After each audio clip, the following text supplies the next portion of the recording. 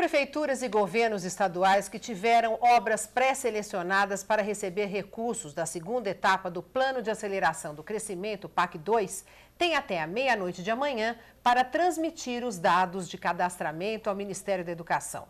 O PAC 2 prevê a construção de creches por meio do Pro Infância, além da construção e a cobertura de quadras esportivas. Estão previstos recursos para mais de 14 mil obras. A transmissão dos dados por prefeituras e governos estaduais deve ser feita pelo Sistema Integrado de Planejamento, Orçamento e Finanças do Ministério da Educação, o CIMEC.